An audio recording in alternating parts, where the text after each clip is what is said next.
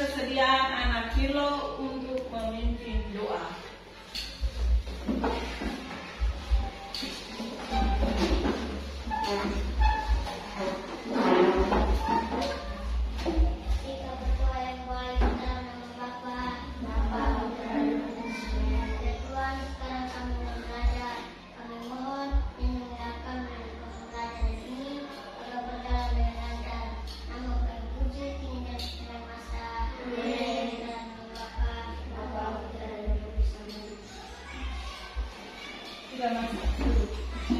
Ibu mau cek kamu punya kehadiran. Siapa yang tidak ada yang hadir? Bagus. Untuk meningkatkan rasa cinta kita kepada tanah air, maka kita akan bersama-sama menyanyikan lagu dari Sabang sampai Merauke.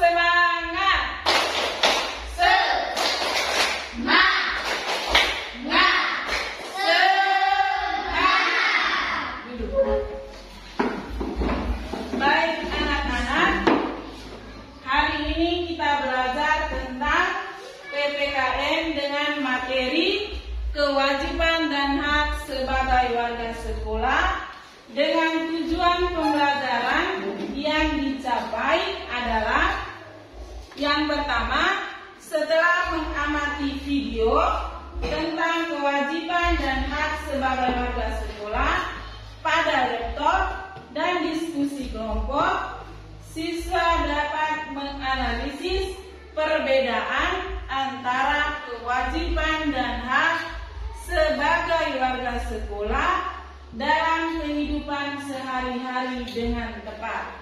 Yang kedua, setelah mengamati video tentang kewajiban dan hak sebagai warga sekolah pada laptop dan diskusi kelompok, siswa dapat menentukan kewajiban dan hak sebagai warga sekolah dengan tepat.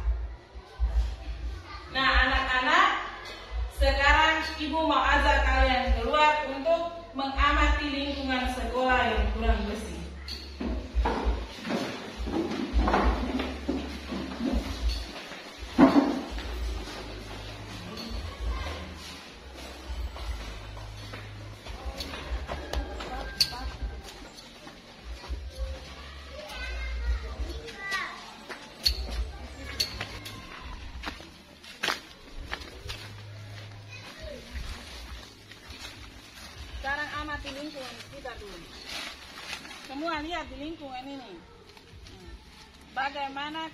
Lingkungan yang kamu amati? Tidak bersih. Apalagi Banyak banyak banyak sampah yang bersih. berserakan. Apa yang harus kita lakukan? Membersihkan. Dengan cara apa? Nyaman. Menjaga kebersihan lingkungan sekolah itu termasuk kewajiban atau hak. Kewajiban. Terima kasih atas jawaban kalian semua. Sekarang kita pulang ke kelas.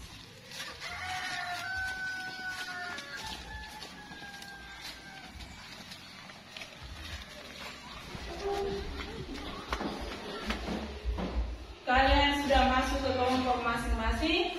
Ibu akan membagikan lembaran ke lembaran kerja peserta didik atau orang sebut dengan LKPD.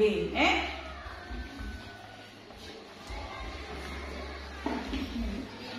Perhatikan di sini cara mengerjakannya kelompok satu dua.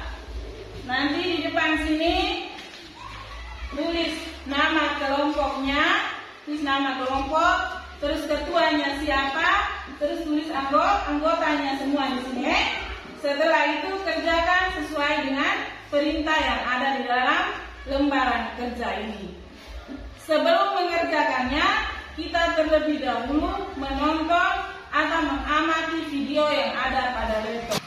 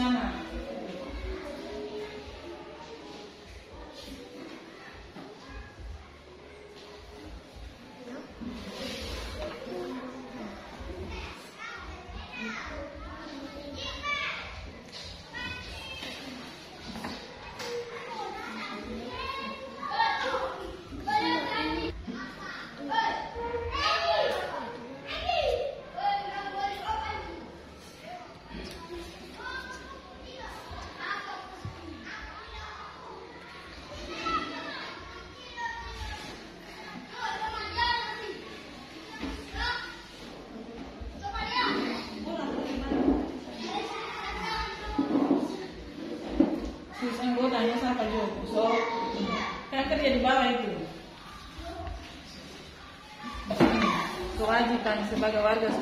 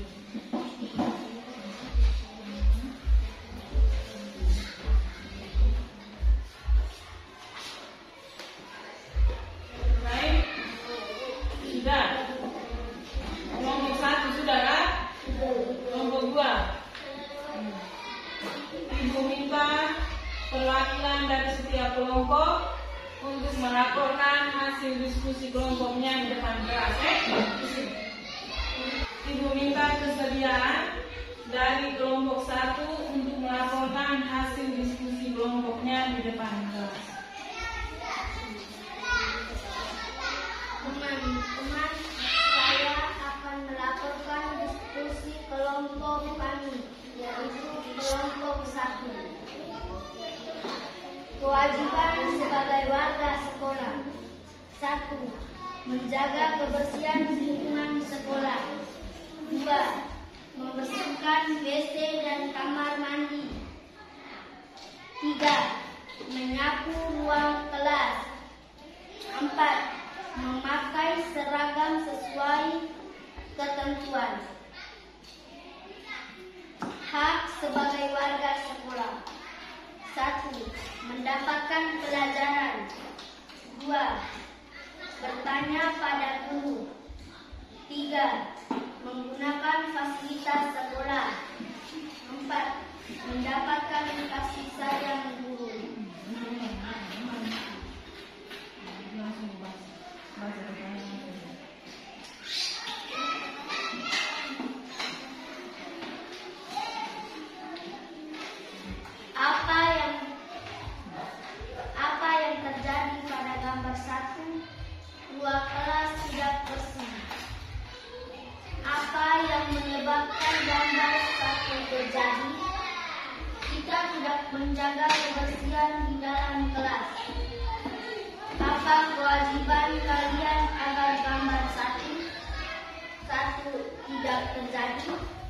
menjaga kebersihan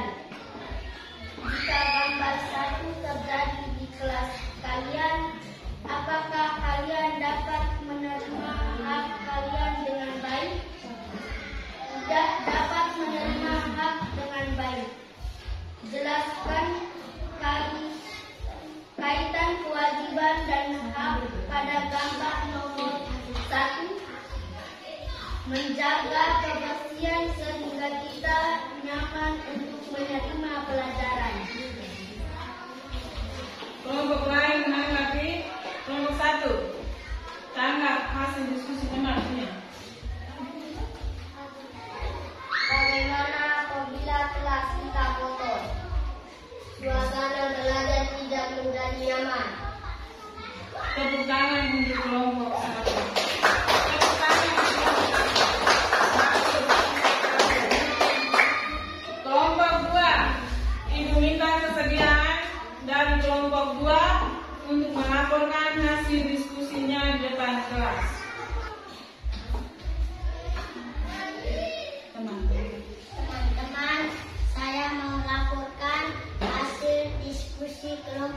dua menjaga kebersihan sekolah. Membayar iuran.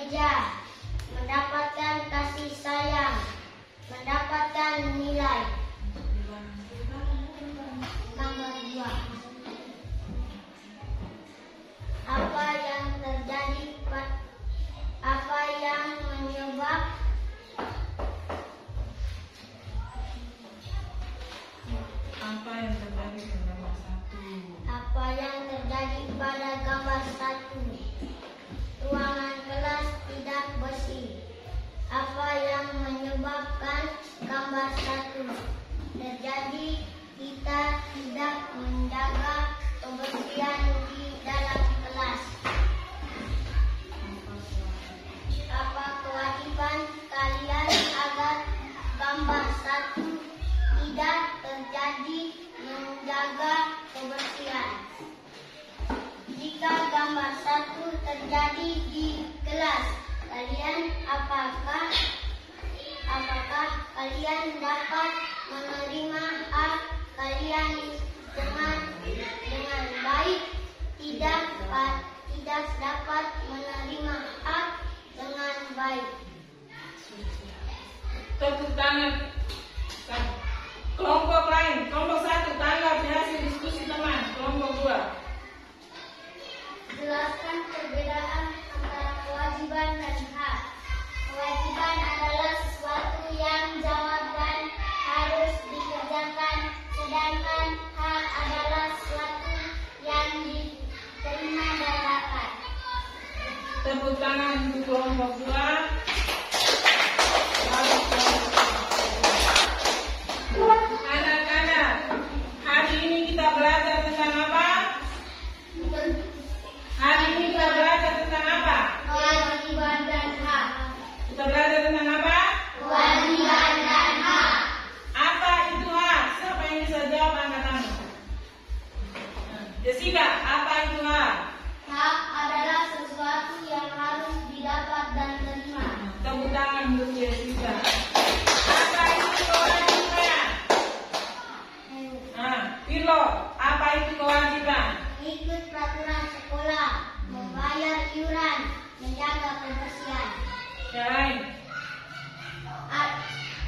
Kewajiban adalah sesuatu yang harus dan wajib dikerjakan. Satu yang harus dan wajib.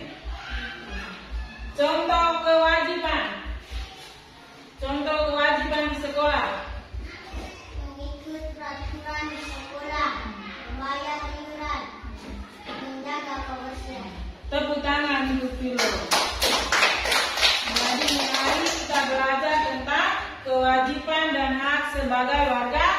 Kewajiban itu adalah sesuatu yang harus dan wajib dikerjakan. Kalau hak sesuatu yang didapat dan beri Terima. Contoh kewajiban di sekolah, membayar iuran, apa, memakai seragam sesuai ketentuan sekolah. Contoh hak di sekolah, mendapatkan pelajaran, mendapatkan kasih sayang dari guru, berhak untuk berta- bertanya. Sekarang ibu akan membagikan lembaran evaluasi untuk dikerjakan, eh, secara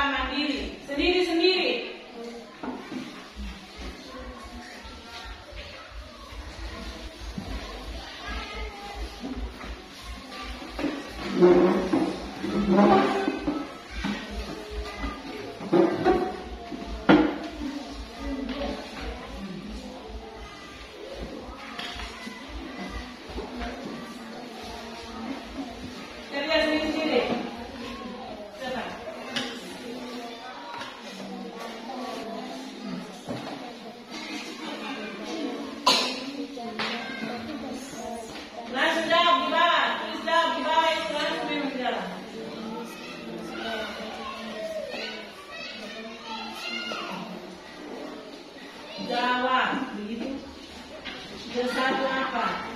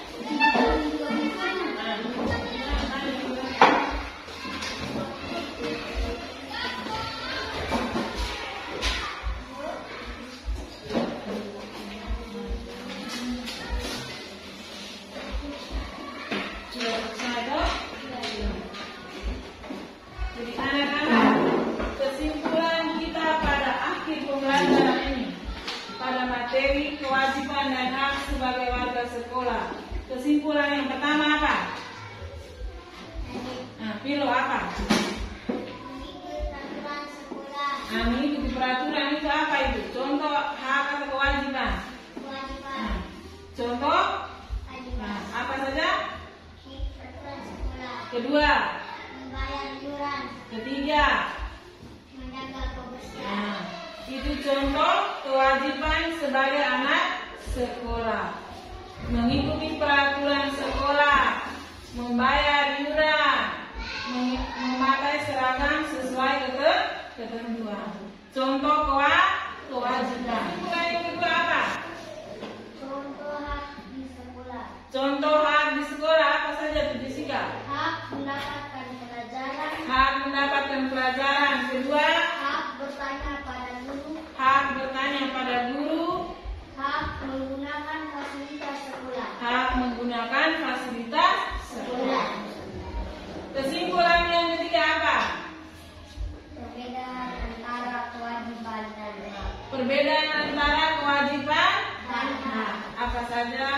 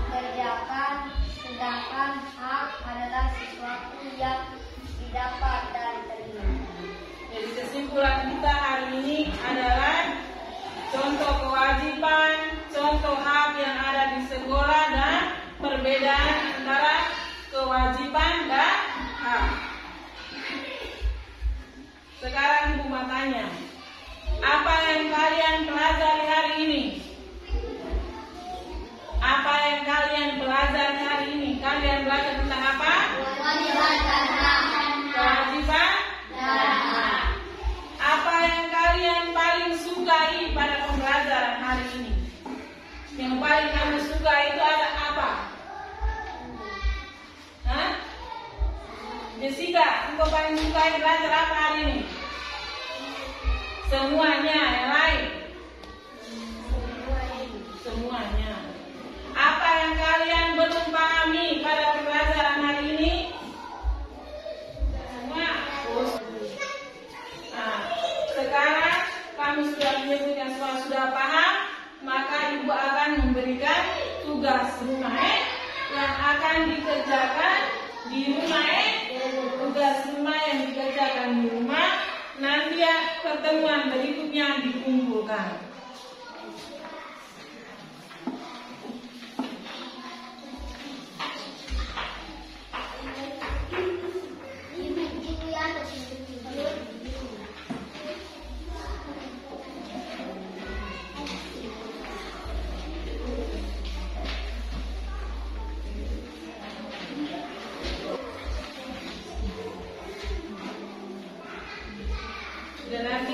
tugas itu dikumpulkan pada pertemuan berikut. Kita akhiri pembelajaran hari ini dengan